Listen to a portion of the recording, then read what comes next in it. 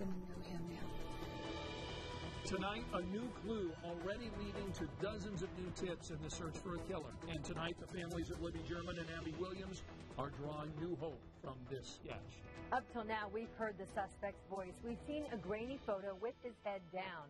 But up until this point, we never have gotten a glimpse of the killer's face. Our Emily Longnecker tonight is the plea from Libby and Abby's families about this piece of the puzzle that could finally bring them justice.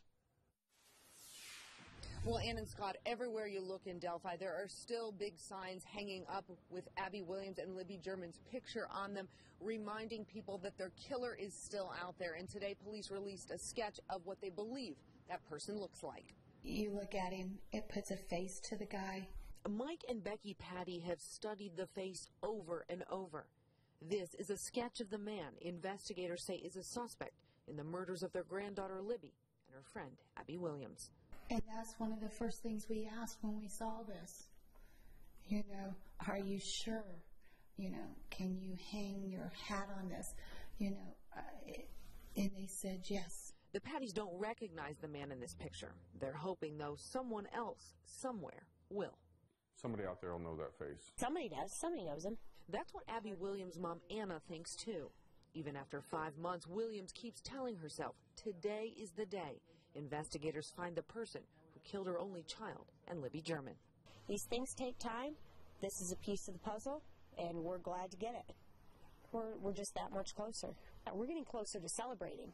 Celebrating this being over and getting the start of the justice that we want. And for these still grieving families, an arrest will bring relief in knowing that this killer can't hurt anyone else. We need to get this guy off, you know, person responsible for this off our streets before something happens to somebody else. And state police say since 4 this afternoon, they've received more than 150 tips about that sketch. It is a picture that the families of Abby and Libby hope that people will take the time to look at and keep sharing. Scott? All right, Emily, thanks. And police have been telling us they've been working on this image for a while. And now that it's out there, detectives are even more energized about getting answers for these two families. Here's a side by side look of the suspect with that newly released sketch on the left and the photo that Libby took on her cell phone there on the right. Now, investigators say the killer is between 5'6 and 5'10 and weighs about 180 to 220 pounds. The man has reddish hair, reddish brown hair, along with some facial hair, but they don't know his eye color. Police also tell us that the hat seen in the sketch may not be accurate, so they want people to focus on his facial features instead. Now, we've got this description posted for you tonight on WTHR.com. There's also a timeline of the investigation from the moment that Libby and Abby disappeared to today when that sketch came out.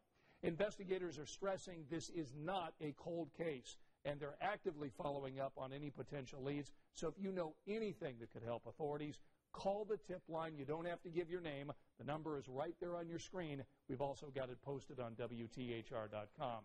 And be sure to watch the Today Show tomorrow morning. They'll be sitting down with Libby's grandparents, who we just heard from a few moments ago. You can see that interview during the 7 a.m. hour right after Eyewitness News Sunrise.